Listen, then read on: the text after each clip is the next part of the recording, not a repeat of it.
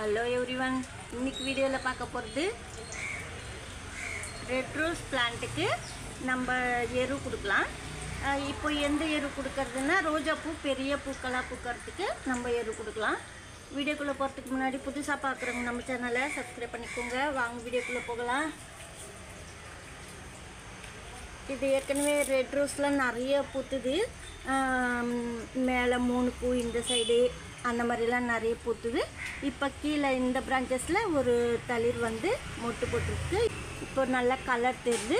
நம்ம இந்த சமயத்தில் கூட நல்லா எரு கொடுக்கலாம். எதுக்காகனா பெரிய பூ பூக்கிறதுக்கு. இப்போ மேலே கூட பாருங்கள் தளிர்லாம் இருக்குது நிறைய தளிர் இருக்குது இப்போ ஒரு எரு கொடுத்த உடனே உடனே தளிர் வரலன்னா நீங்கள் அடுத்த எரு கொடுக்கக்கூடாது.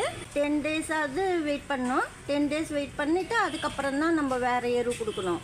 இப்போ பவுட்ரு ஃபார்மில் நீங்கள் கொடுத்துருப்பீங்க. அதாவது காஃபி தூள் கொடுக்கலாம். இல்லைனாக்கா மீல் மேக்கரு அந்த மாதிரி பவுட்ரு போட்டிருக்கலாம். கடலை புண்ணாக்கு பவுட்ரு போட்டிருக்கலாம். அந்த மாதிரியெல்லாம் கொடுக்கும்போது லிக்விட் ஃபெர்டிலைசர் கொடுக்கலாம் உடனே. அ- அது போல் நான் சொல்கிறது இப்போ நீங்கள் டீ தூள் போடுறீங்க. ஒரு டூ டேஸ் த்ரீ டேஸ்க்கெல்லாம் நீங்கள் திருப்பி டீ தூளை போடக்கூடாது. கொஞ்சம் லேட் பண்ணி தான் போடணும். அப்போ தான் தளிர் வரும். இப்போ இதில் கூட கொஞ்சம் நிறைய பூ பூத்துச்சு. அதுக்கப்புறம் தளிரே வரல.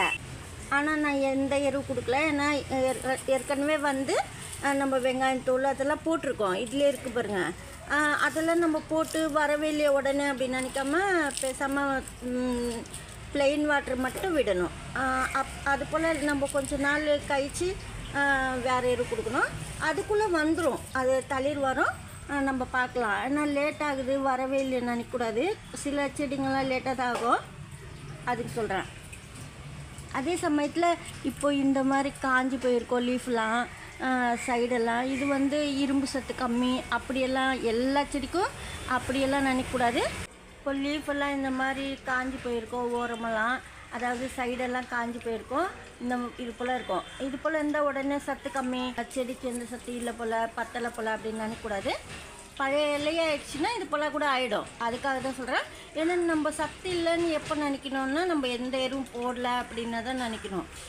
ரொம்ப பழைய ரொம்ப நாள் ஆயிடுச்சுன்னா தான் அந்த லீஃபெல்லாம் பழசாயிடும் நம்ம எடுத்து விட்டுணும் இது வச்சுக்காம. எதுக்குன்னா இந்த காஞ்சி போனதுலேயே எருவெல்லாம் நம்ம போட்டால் கூட சரியாக வராது. எனர்ஜியெல்லாம் இந்த இலையை எடுத்துக்கிட்டு இருக்கோம். அதுக்காக நம்ம இந்த லீஃப்லாம் எடுத்து விட்டுணும் கொஞ்சமாக நுனி கூட அப்பப்போ நம்ம கட் பண்ணணும். அப்போ தான் ரொம்ப தளிர் வரும். அதாவது வராமல் இருந்தால் கூட கத்திரியில் கட் பண்ணிங்கன்னா லேசாக கொஞ்சமாக நுனி கட் பண்ணாலே போதும் தளிர் வர ஆரம்பிச்சிடும். சில டைமில் அப்படியே இருக்கும் செடி வராமல் தளிர் வராமல் அந்த செடிக்கெல்லாம் நீங்கள் லேசாக கட் பண்ணி விட்டுட்டோம்னா கண்டிப்பாக தளிர் வரும். இதில் வந்து நம்ம வெங்காயம் தூள் டீ தூள் அதெல்லாம் போட்டிருக்கோம். கொஞ்ச நாள் ஆயிடுச்சு. இப்போ நம்மளுக்கு மொட்டும் வந்து பூக்க போகுது பூவு. அந்த சமயத்தில் நம்ம கொஞ்சமாக வந்து வாழைப்பழம் தோல் அந்த மாதிரியெல்லாம் நம்ம செடி கொடுக்கலாம். பூ வந்து பூக்கிற ஸ்டேஜில் நம்ம எரு கொடுக்கலாம். எந்த எரு கொடுக்கறதுன்னா ஏற்கனவே உருளைக்கிழங்கு தோல் வெங்காயம் தோல் இந்த மாதிரிலாம் டீ தூள் எல்லாம் போட்டுருந்தீங்கன்னா மாற்றி கொடுக்கணும் எருவு. அப்போ தான் செடிக்கு நல்லது. நான் இப்போ என்ன கொடுக்க போகிறேன்னா பாருங்கள் முருங்கைக்கீரை. முருங்கைக்கீரையும் கொஞ்சமாக வெங்காயம் தோல் இருக்குது இதில். சேர்ந்தாப்பெல்லாம் இருக்குதுன்னு சொல்லிட்டு கொண்டு வந்துட்டேன். கொஞ்சமாக ஒரு பிடி அளவுக்கு நம்ம முருங்கைக்கீரை வைக்கலாம். ஏற்கனவே நம்ம க காஷ்மீர் ரோஸ் பிளான்ட்டுக்கெல்லாம் வச்சுருக்குறோம். இப்போ நான் தளிர் காமிக்கிறேன் அந்த செடியில். அதுக்காக தான் சொல்கிறது அப்பப்போ கொஞ்சம் கொஞ்சம் வைக்கணும் நம்ம. அதாவது முருங்கைக்கீரை எது எருவாக கொடுக்கணும் அப்படின்னா இப்போ இந்த முருங்கைக்கீரை தண்ணியில் த்ரீ டேஸ் ஊற வச்சுட்டும் கொடுக்கலாம். கொஞ்சம் தண்ணியில் ஊற வச்சுட்டு இன்னும் கொஞ்சம் ஒரு மூணு பங்கு தண்ணி சேர்த்துட்டு நம்ம செடி கொடுக்கலாம்.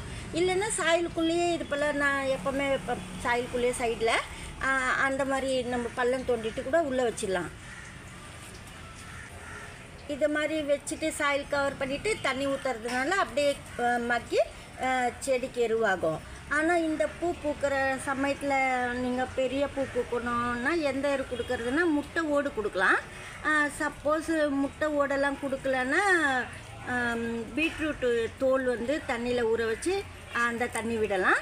இல்லைன்னா வாழைப்பழம் தோல் கொடுக்கலாம். அதாவது வாழைப்பழம் தோல் தண்ணியில் கரைச்சிட்டு கொடுக்கலாம்.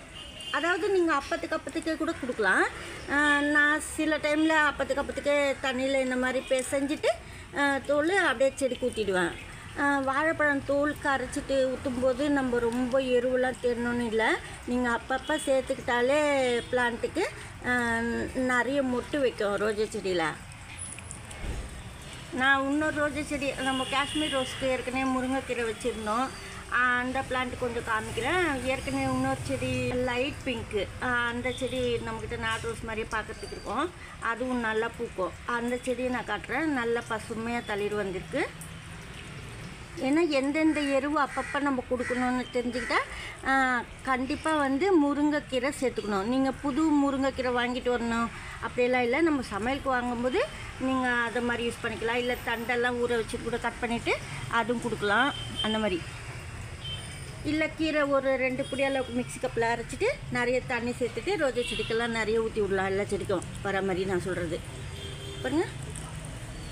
இந்த மாதிரி நல்லா தண்ணியில் கரைச்சிட்டு ஒரு வாழைப்பழத்தோல் தண்ணியில் கரைச்சிட்டு ஊற்றிட்டேன் ஆனால் ரொ கொஞ்சம் நீங்கள் என்ன பண்ணுன்னா சுத்தமாக ஃபுல்லாக நல்லா இதுவாயிடணும் மைய அரைச்சிடணும் அப்படின்னா வாழைப்பழம் தோல் சுத்தமாக தெரியக்கூடாதுன்னா கரைச்சி ஊற்றும்போது அஹ், கொஞ்ச நேரம் ஒன் ஹவர் முன்னாடி தண்ணியில் ஊற வச்சுட்டு அதுக்கப்புறமா கையால் நல்லா பிசைஞ்சிட்டு தண்ணி விட வேண்டியது தான் இது போல் வாழைப்பழம் தோல் தண்ணி ரெடி பண்ணி ரோஜா செடிக்கு விட்டால் பெரிய பூ பூக்கும். இங்கே பாருங்க காஷ்மீர் ரோஸ் பிளான்ட்டு இந்த செடி பாருங்கள் நல்லா பசுமையான தளிர் வந்திருக்கு. இது வந்து லைட் பிங்க்கு இந்த லக்ஸு சோப்பு கலர் இருக்கும் பாருங்க அந்த கலர் பூ பூக்கும். அந்த ரோஸ் பிளான்ட் தான் இது. பெரிய பெரிய பூக்களாக இருக்கும். இப்போ தளிர் வந்து பூலாம் பூத்து முடிஞ்சிச்சு. நல்லா கட் பண்ணிட்டேன். இந்த கிளையெல்லாம் பிரான்ச்சஸ்லாம் நம்மக்கிட்ட வந்து தான் வந்தது. எவ்வளோ திக்காக இருக்கு இது வந்து ஜெர்பரா வந்து ஃபஸ்ட்டு பூ நான் வீடியோவில் காமிச்சிப்பேன் அந்த பூ தான் இது. டென் டேஸ் மேலே ஆயிடுச்சு. நல்லா தான் இருக்குது பாருங்க. இப்போது இது புது பூ. இப்போ தான் பூத்துக்கிட்டு இருக்குது பக்கத்தில் கூட மொட்டு இந்த காஷ்மீர் ரோஸ் பிளான்ட்டில் தான் நம்ம முருங்கைக்கீரைலாம் போட்டிருக்கோம். தளிர்லாம் பாருங்கள் நல்லா ஃபாஸ்ட்டாக வளருது பக்கத்துலலாம் எல்லாம் கூட இப்போ தான் தளிர் போடுது பாருங்கள் நம்ம முருங்கைக்கீரைலாம் போட்டால் நல்லா ஃபாஸ்ட்டாக வளரும். இப்போ இந்த சைடெல்லாம் கூட பாருங்கள் புது தளிர் போட்டிருக்கோம் அந்த சைடில் அப்பப்போ நிறைய புது தளிர் போடும் நம்ம முருங்கைக்கீரை யூஸ் பண்ணும்போது. அப்பப்போ நீங்கள் மந்த்லி டூ டைம்ஸ் கூட நீங்கள் முருங்கைக்கீரை யூஸ் பண்ணலாம். நிறைய தளிர் வரும்.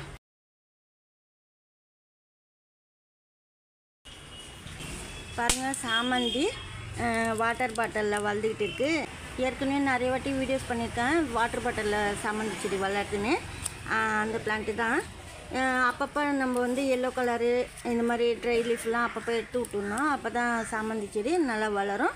நம்ம இதுக்கு எப்படி வாழைப்பழம் தூள் ஊற்றணுமோ அதே போல் சாமந்தி செடிக்கு வாழைப்பழம் தூள் கொடுத்தா சூப்பராக பூ பூக்கும்.